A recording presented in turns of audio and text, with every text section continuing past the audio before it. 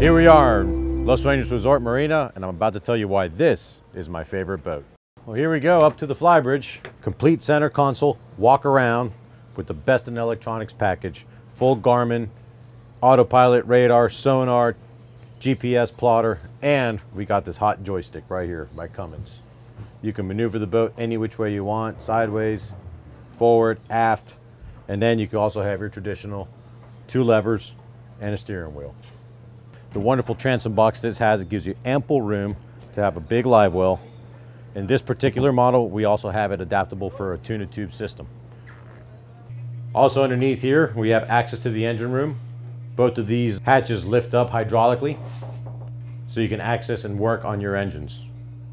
Down here, we just have a simple access to your engine room, so you can check your oils, check your fuel filters, and also check on your Seakeeper 5 if necessary, which is straight aft right there. My favorite part of the Viking 37 Billfish, it's its fishability. Everything's packed into this little boat that you would have on a big boat, but it's got the maneuverability of a small boat.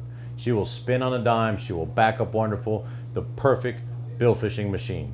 For more information on the Viking 37 Billfish, we're always open at galatiyachts.com.